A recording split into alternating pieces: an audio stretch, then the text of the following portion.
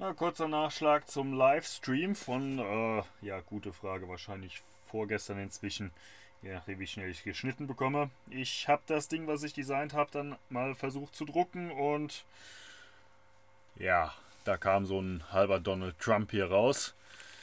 Äh, ja.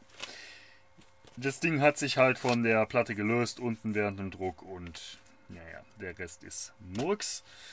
Äh, dann nochmal versucht. Das kam schon besser raus. Auch da allerdings ein kleiner Bug. Und zwar habe ich da etwas nicht bedacht. Nämlich, ich hatte ja den Infill entfernt, komplett. Was dann aber gleichzeitig heißt, dass diese äußeren Ringe, in die die Münzen kommen sollen, äh, in der Luft schweben. Nee. Gut. Das geht natürlich nicht so gut, aber immerhin. Ähm, wir haben einen Druck und ich denke, damit können wir es relativ gut testen. Und ich kann es schon mit dem Auge sehen, dass da kommt definitiv nicht hin. Aber äh, diesmal habe ich dann auch ein paar Münzen da. Mal gucken. 2 Cent hätte eigentlich hier hingehen sollen. Nee, das passt da definitiv nicht. Das ist zu dünn. Wir hier? 50 Cent. 50 Cent war der hier. Nach da sehen wir eindeutig. Selbst wenn wir jetzt sagen, okay, das ist ein bisschen verrutscht beim Druck, das passt definitiv nicht da rein. Wenn wir hier gucken, nee. Also, das hat alles nicht so wirklich geklappt. Genauso hier die 2-Euro-Stücke.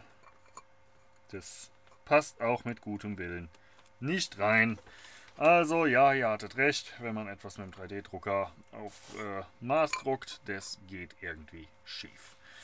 Nun gut, äh, Lesson learned. Also ich denke, ich werde jetzt hingehen. Nein, nicht den Slicer wechseln, weil dazu bin ich zu faul. Dann müsste ich lernen. Nee, ich werde einfach... Ähm, hier der Euro-Ring, der ist schön geworden.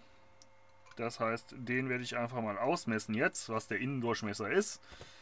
Mir dann angucken, was der Euro eigentlich haben sollte. Und dann entsprechend das Ding hochskalieren. Und vor allen Dingen probieren, das Ding hier mal vom Glas runter zu bekommen. Denn ich war jetzt natürlich, äh, da das sich gelöst hatte, hier bei dem extra ähm, ein bisschen stärker dran und habe geguckt, dass es hält. Dummerweise hält es zu gut. Naja, gut, wird schon irgendwie.